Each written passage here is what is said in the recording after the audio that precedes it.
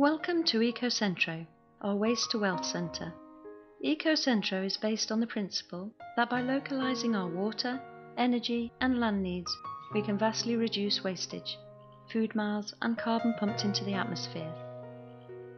This demonstration site is designed to show how communities can drastically reduce their carbon footprint. About a year ago we were looking at all our waste and we, we came up with the concept of uh, creating the EcoCentro Waste to Wealth Centre. The reason for that is to look at all the things that we were throwing out and turn it into wealth. Basically we have between one and five tonnes of woody mass per day, so we turn that into charcoal and biochar, which we sequestrate into the soil, and uh, mulch, which we, put, which we make soil from. We also have a lot of plastic waste, which we've reduced, and our other waste streams we, we turn into something valuable. So the idea was to look at all our waste and make it into something worthwhile and valuable. Life on Earth depends on water. EcoCentro employs a zero waste, closed loop sustainable water system. Rainwater from the roof is captured in tanks. This water, along with the overflow, is used for aquatic farming of fish, crustaceans, and also used for hydroponics. Nutrient-rich pond water is used for growing mop crops such as banana, papaya, moringa, avocado and bamboo. It is time to plug ourselves into sustainable sources of energy.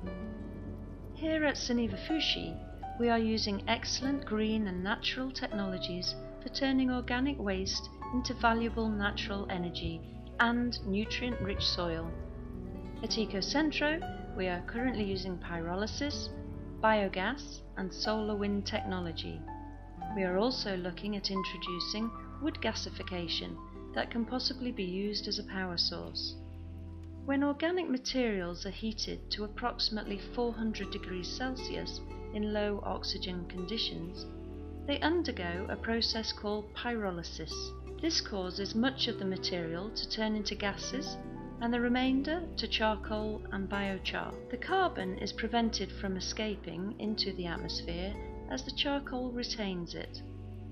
This carbon can be used directly as a fuel source or sequestered into the soil as a conditioner in the form of biochar. The biogas system converts food and human waste to methane, which can be used for cooking, heating or generating electricity. Leftover sludge and nutrient-rich water is used as organic fertilizer.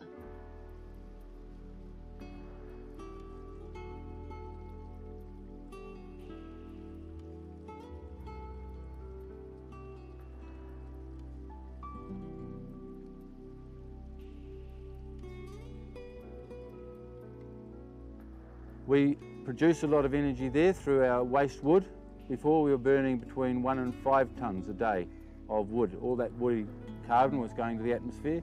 We now use a system called pyrolysis. So we take the heat energy from the wood and we're left with charcoal, which we, uh, which we give to our kitchen, and we put the biochar in the soil, which is a part of uh, carbon sequestration. So it's the best form of sequestrating energy or carbon into the, into the ground. Um, our next plan is we have uh, solar windmill there, which we produce energy from. And our next plan is to put a gasification unit in, which will give us about 20 kilowatts of energy from our waste wood. So we'll produce all our energy at EcoCentro and we'll also produce enough energy for the organic restaurant here and our Cinema Paradiso. That's just from our waste. So the return value to us each year is around forty to $50,000 after our expenditure. So it's a very good return on investment and saving on diesel energy.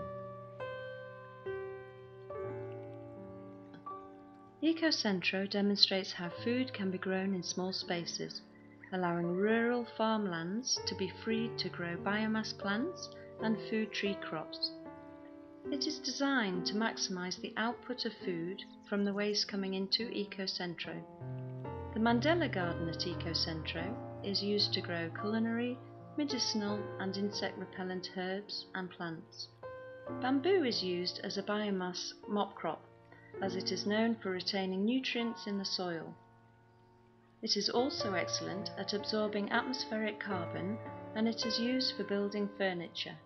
All the buildings, mechanisms, and structures at EcoCentro have been built to minimize the consumption of electricity and to maximize land use.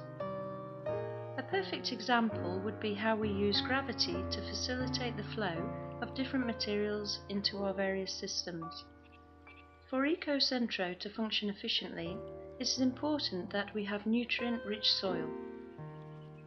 Woody waste and coconut is converted into mulch. This mulch, along with biochar and coconut fibre, is mixed with the soil as a conditioner to improve its quality. Anything made from oil can be made from plants. So at EcoCentro, we look at the, the total value of what we can grow there. For example, what we want to do with land use and where we have small amounts of land is grow a lot of food because then that releases bigger parts of land where we can grow biomass that we can turn into plastic and clothing and things like that. So we're setting up a demonstration there of showing people of how we can produce food in very small places. For example, the egg produces a lot of food, it produces fish, it produces liquid uh, fertiliser and it produces vegetables in a very small space. So in the cities we can actually produce a lot of our foods and we can free up land to grow crops such as bamboo which we're growing at EcoCentro. EcoCentro. So what we're doing at EcoCentro is um, we're growing bamboo. From our wastewater from our sewage treatment plant we'll put on the bamboo. We'll grow biomass, we'll use that biomass for building and construction work and we'll grow food at EcoCentro from all the nutrients we have here. For example, we have a lot of food waste coming in. So instead of having that, looking at it as a waste, we look at it as an asset. So we grind it up, we turn it into biogas, and we turn it into liquid fertiliser. With that liquid fertiliser, we, we grow food, we grow biomass, and it all goes back into the system. So it becomes carbon neutral, and we're creating wealth within a very small area. Localisation of the water supply will save millions of litres of water and energy used to pump the water. Less water pumped equals less carbon into the atmosphere. Localizing energy production reduces energy loss and empowers communities to cater for their own energy needs.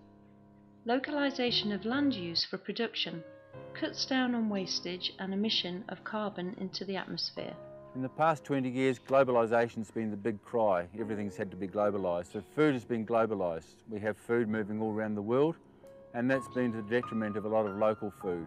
Food has become very standardised. What we do in permaculture systems really look at the production of local food, local energy and local water use. So it's very based on what we can produce in a small area within the community, not you know what's going to be produced thousands of miles away and transported here. For example, we bottle our own water here now. Before we used to buy it and the plastic and water was transported hundreds and sometimes thousands of kilometres with huge amounts of energy used. Now we have our own bottling plant and we bottle our own water, it's very high quality. So we need to look at that localisation of water, the localisation of energy and the localisation of land use to produce food. And it's very a concept very different from globalisation. It means that we really start creating wealth. What globalisation has done is really destroy wealth. What we're about is creating wealth. So localisation is quite different from globalisation. We're certainly not opposed to globalisation. The, the travelling industry, for example, is a global industry, and it's a good industry. It exposes people to different cultures, and it's very, mostly a very positive industry. But to ship oranges to one country and then to another country and ship food all around the world is really a, a waste of resources. And it actually destroys wealth. It destroys land and it destroys communities. So we're really about creating wealth in the community through localisation. Environmental Green Garden, EGG, is a small-scale ecosystem mimicking the larger picture, Mother Nature. The egg is used to grow food and farm fish. Water is collected into a rainwater tank from the roof of the garden, overflowing into ponds housing fish. Then into raised kitchen garden beds, providing plants with nutrient-rich water. Lower garden beds receive water from the raised gardens which ensure that the water is even richer in nutrients. Deep-rooted plants and trees around the border of the egg draw up sewage water which transpires back into the garden's atmosphere and condenses into water droplets, falling onto the garden, completing the water cycle.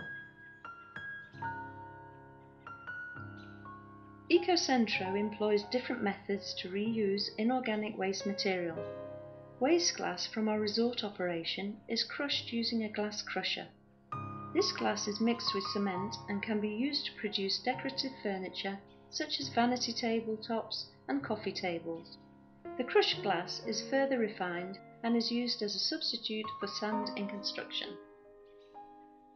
The native slow walk at Soneva features indigenous and medicinal plants. Plants were carefully chosen in order to preserve and are grown under the guidance of our horticulturist. Most of these plants are near extinction due to overpopulation and mismanagement of land. Ecocentro is a finite example of how driven we are to find alternative ways of utilising our generated waste, therefore limiting the negative impact of our existence on broader environmental issues. It is our responsibility to preserve the planet for our children and for our generations in hundreds of years to come.